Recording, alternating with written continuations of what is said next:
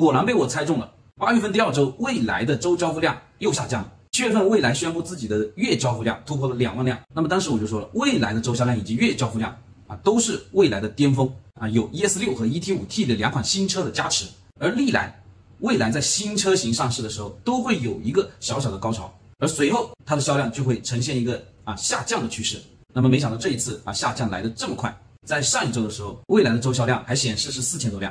而八月六日至八月十三日的这个第二周只有三千三百多辆。那么未来啊，交付量说到这里，我们今天星期二主要是说一下啊，理想发布的这个周销量排行榜。那么在新势力的周销量排行榜上面，第一名仍然是理想，它的这一周的周销量是七千两百辆。在上一周的时候我就说过，理想的周销量实际上也呈现了一个下降的趋势，但是在第二周啊，它有了一个企稳的一个信号。如果理想的周销量现在低于八千辆啊，可以说都是不合格的。毕竟现在的理想。它的目标应该是每个月三万五千辆以上，而且在理想汽车的二季度财报数据当中，他们给三季度的交付指引给出的是十万至十万三千辆，所以每个星期的交付量，所以每个星期的上险量，理想不应该低于八千辆。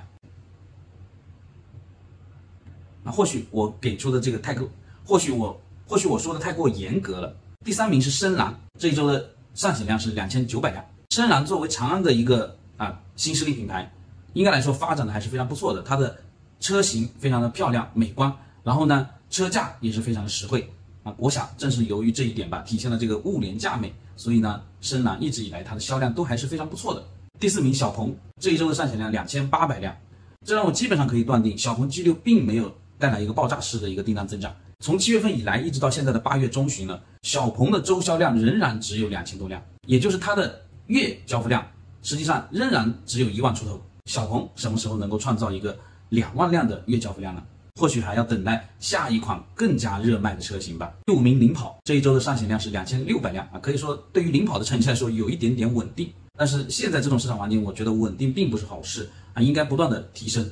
第六名腾势这一周的上险量两千六百辆。第七名哪吒这一周的上险量是一千九百辆啊，似乎有点点退步。极客啊一千七百辆的周上险量退步了，退步了啊，这也就很好的解释了为什么极客。降三万，对不对？如果不是因为订单少了，谁会随意的去降价呢？